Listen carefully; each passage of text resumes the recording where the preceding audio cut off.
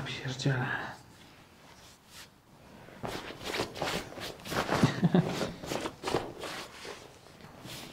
Ja się wypierniczyłem. Dobra.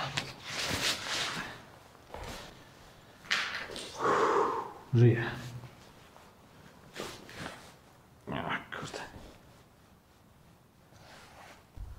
Dzień dobry, dzień dobry wszystkim.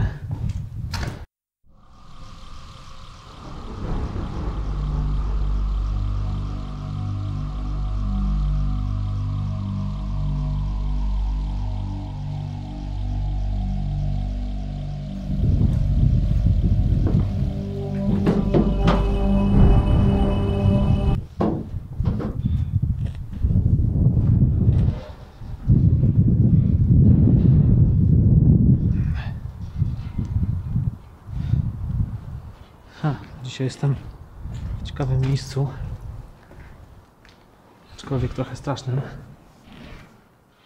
A, może e, ze względu na to, jak to wygląda, oczywiście, ale ze względu również na historię, która związana jest z tym miejscem. Ale to zaraz Wam opowiem.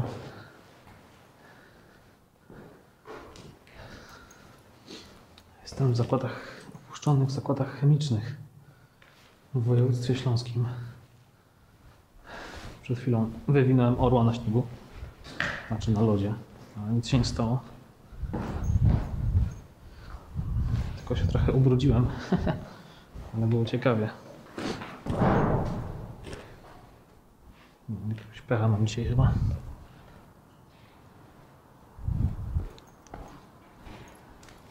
Więc dobra, tytułem historii, bo tyle o wywracaniu się. Tu mamy schody i takie coś, a zaraz tam pójdziemy.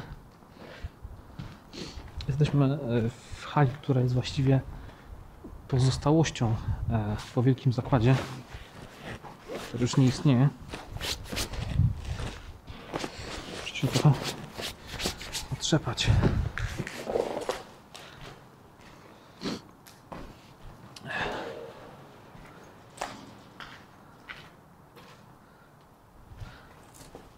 A tu to jest takie składowisko. Nic ciekawego, jakieś odpady. E, chciałem powiedzieć? Aha, no tak, zakłady powstały około, około roku 1903. E, Na początku pro, produkowano tu glicerynę i stearynę.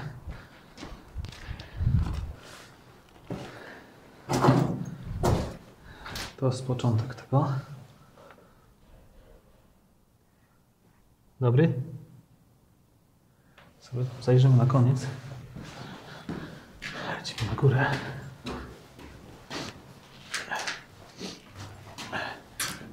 Właściwie powiem Wam szczerze, że z samego zakładu niewiele zostało. Jedynie ściany. Natomiast y, nie spodziewałem się, że ten zakład ma taką tragiczną historię wpisaną w swoje karty.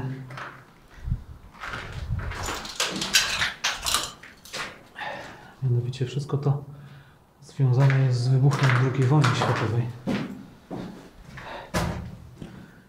Także jeżeli chodzi o, o tragizm tego miejsca, to zaraz Wam opowiem.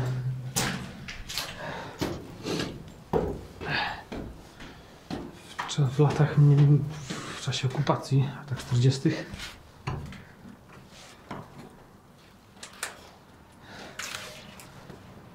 O.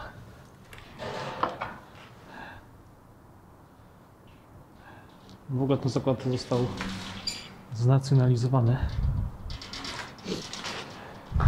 Dopuszczalne obciążenie stropu pół tony na metr kwadratowy. Chyba przeżyje ale strop nie wygląda najlepiej. W każdym razie, jeżeli chodzi o tragizm tego miejsca, to naprawdę yy, wrząca krew historia relacji yy, pracowników przymusowych, którzy tu pracowali w latach 40. Yy, mianowicie przywożono tutaj do przerobu skórzane ubrania, guziki e, z różnych materiałów, różne inne rzeczy, ubrania należące do więźniów, między innymi Karl Auschwitz.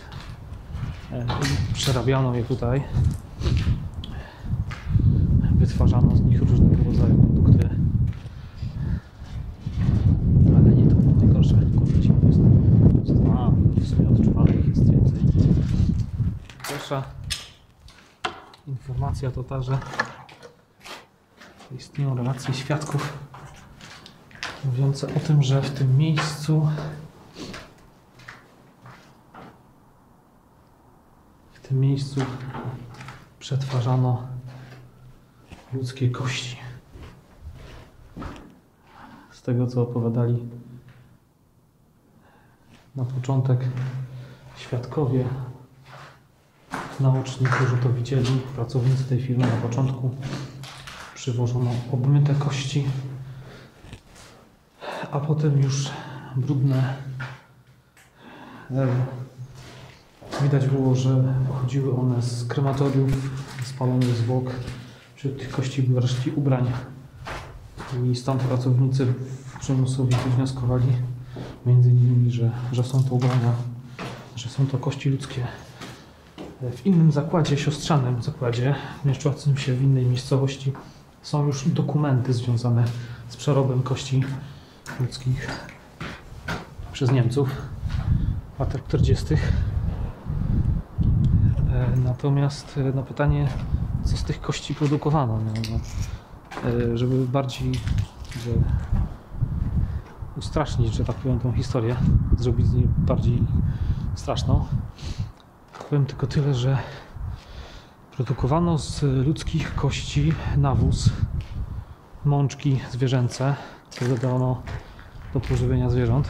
To jest w ogóle straszne. I oczywiście produkowano klej. Z tego zakładu e, między innymi półtorej tony kleju powstało taką techniką. E, Począwszy od 1943 roku, kiedy zaczęto zwozić e, kości ludzkie i ubrania na większą skalę. Także naprawdę przerażająca historia. Ale wywina orła. Dotarliśmy na najwyższą kondygnację tego budynku. E, Szczerze mówiąc, słuchajcie, ze względu na stan zniszczenia e, nie jestem w stanie określić, co to był za budynek. Natomiast jest tutaj całkiem niezłe wyjście na dach. Na panoramę. A tam jest ochrona i będę się zbierał stąd.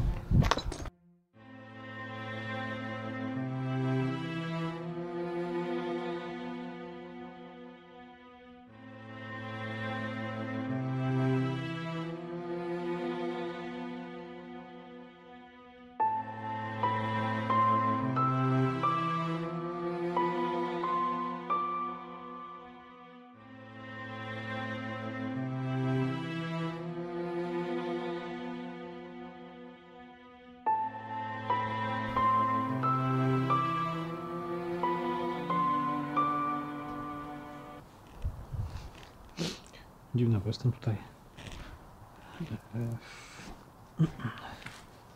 w niedzielę. Cały czas tu się kręcą jacyś ludzie.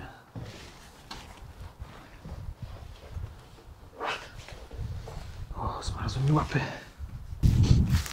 Ładna wiosna w tym roku. Nie, nie mam żadnych pretensji. Tylko jakoś tak niewiosennie. O. Co to? Taki klimacik. Właściwie to tu jest jedno wielkie składowisko odpadów.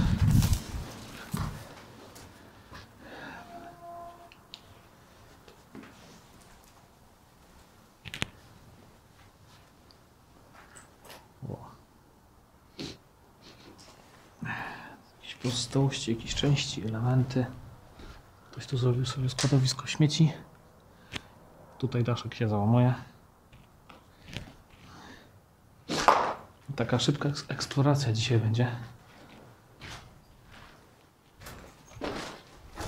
Tutaj nic nie ma. Na tych nie ma co zaglądać. Słuchajcie, moi mili, bardzo Wam dziękuję za dzisiejszą eksplorację. Krótką, szybką, bo z budynków już nic nie pozostało. To jest już prak- praktycznie ruina tuż przed totalną śmiercią. Także trzymajcie się i do zobaczenia na następnej mojej Jezusu eksploracji na kanale Urbex Urbexik. Cześć!